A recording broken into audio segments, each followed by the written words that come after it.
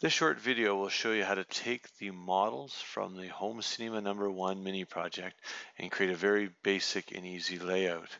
All of the uh, methods that we'll, we'll go over in this video can be used to create any of the layouts on this project sheet. The particular layout that we're going to make though isn't on this sheet. It's actually this guy right here. So we're going to use the uh, popcorn box, the movie reel, and the film strip and we're going to show you how to simulate some V-carving on the popcorn box. Now all the different um, tools and methods can be used to create any of these layouts. Um, and one of the things I did want to point out to you was this layout right here which has um, the film strip mirrored and then merged into another film strip and we've modeled it specifically for you to be able to do that so you can make a layout a lot like that which once it's all laid out and rendered looks like this. So that's pretty unique. So let's get started. Okay we're going to open up Aspire and we're going to create a new file. And this file uh, this job is going to be uh, about 8 inches by 8 inches uh, half inch thick. We're going to use our units are going to be in inches of course. Um, we're going to use a modeling resolution of very high and we're going to click OK. We're going to go over to our 3D clip art tab and I've already added in, so I've downloaded and unzipped and moved the um, home cinema number one mini project into the place where all my other mini projects are.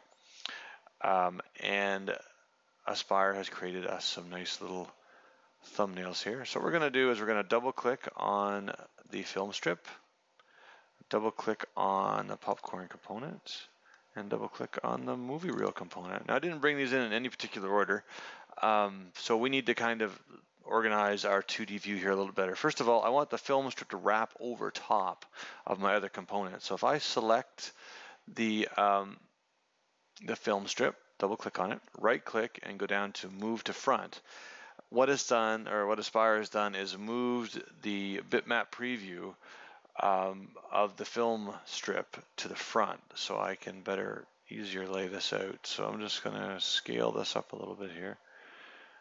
And then I'm going to grab the center and just scoot it down a little bit there. Perfect. then I'm going to go ahead and grab the movie reel and we are going to scale it down. I'm just kind of roughly laying this stuff out. Uh, it'll all change probably in a minute or two, but I'm just wanted to get things looking pretty good. We'll bring that, make that a little bigger maybe. And then we're going to move the popcorn box into place. Now using the same technique that we used a minute ago to move the ribbon bitmap ahead, we're actually going to, um, I'm just using the cursor keys by the way to nudge the popcorn box up a little bit.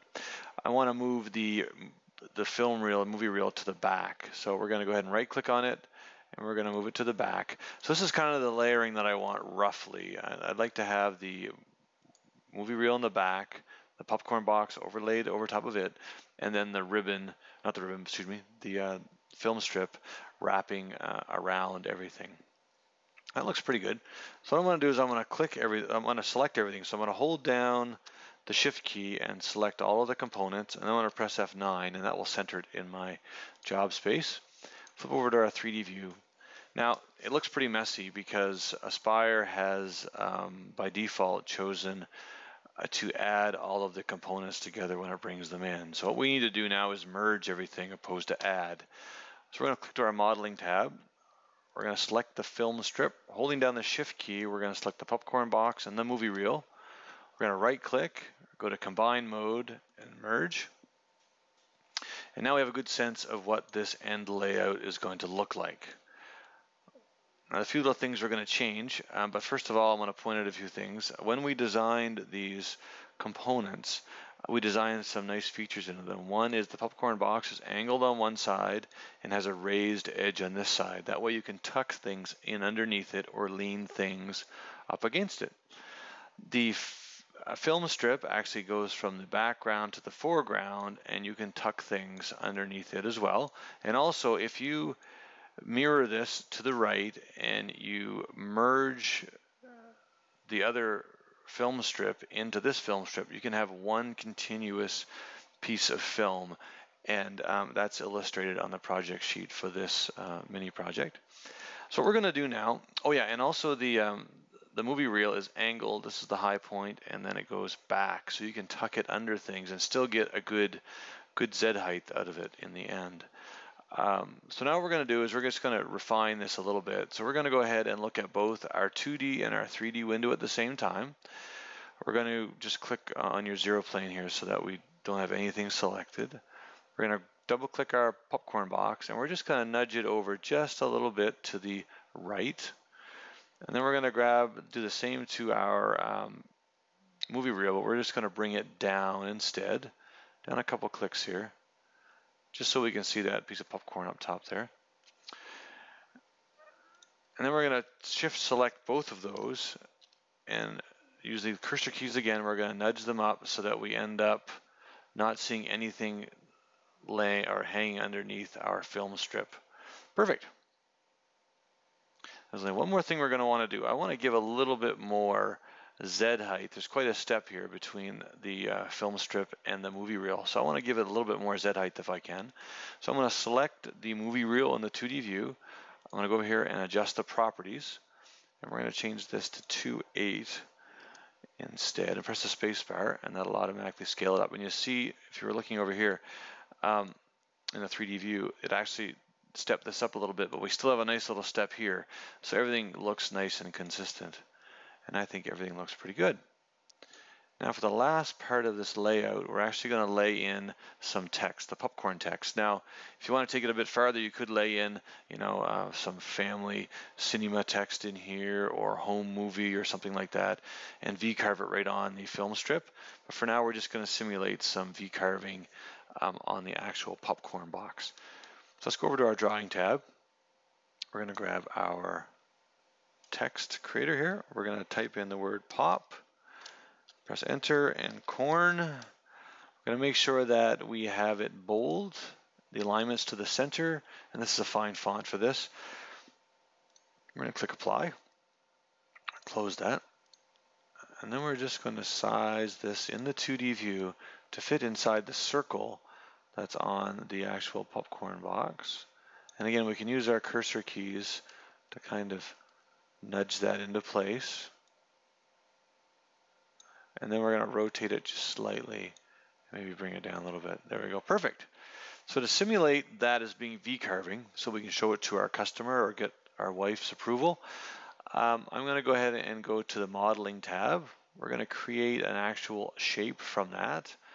We're going to create a pyramid shape at minus 35 degrees. We're going to change this a base, base height to 0.05, and that's just going to give us a little bit of a drop. And then we are going to go ahead and all this just stays the default and we're going to add this. We're going to click apply and Aspire will set us up with a nice simulated V carving look over here so that we can show this off and get some approval from the people that are going to use our home theater. And there you have it. Let's take a minute and go back to CNC Mini Projects and the Home Cinema number one project page. And I want to point out some quick things to you. One, as we scroll down, you'll see that there's some nice layouts here, uh, nice inspiration for you to refer to. Of course, there's the project sheet, which comes included in the zip file if you choose to purchase the mini project. If not, you can download it from here and just keep it in your catalog.